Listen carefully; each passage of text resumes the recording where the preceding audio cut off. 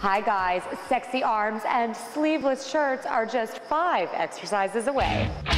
Whenever I do arm exercises, I'm sure to incorporate a squat position to burn the most calories. My first exercise is the Lady Killers. Stand with your feet hip width apart. You've got your weights down by your side.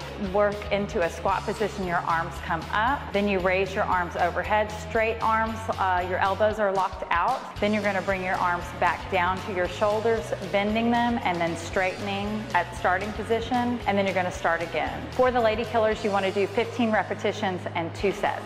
So our next exercise is a wall sit into a fly press. You put your back against the wall, knees are at a 90 degree angle, sitting against the wall. Elbows you piece together with your weights in hand. You're going to then open your arms out 90 degrees. Then you're going to straighten your arms up, tap the weights at the top, squeeze back down with your elbows bent, and return to starting position. For this exercise, we're going to do 30 seconds on your timer, as many repetitions as you can manage. Our next exercise is our single leg rows. You're gonna start with your dumbbells in your hand. I recommend three to five pounds. We wanna do is extend our elbows out all the way. You're gonna stand on your right foot, lifting your left foot, keeping it bent. You're going to bend your right knee, lean down, arms come across in front. You keep that squat position.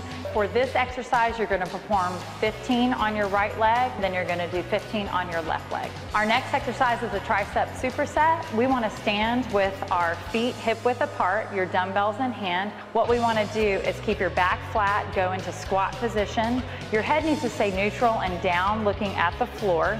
We're gonna lift our elbows up first, then you're just gonna kick back your arms to isolate and work the tricep muscle. We're gonna perform 15 of these as you remain in that squat position, nice and low, head straight. We're gonna do two sets of 15 repetitions. These exercises may not look hard, but I assure you they are. You're gonna burn a ton of calories and build muscle. Start using weights like these with all of your other exercises too, and you're guaranteed to see results by summer.